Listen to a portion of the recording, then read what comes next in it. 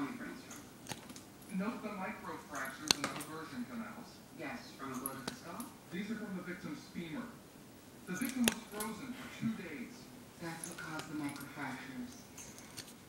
No, why are you yawning? We need to break down tomorrow. I suck. How long has your doctor been here for brainstorm? Forty-five minutes ago. So basically, you're forty-five minutes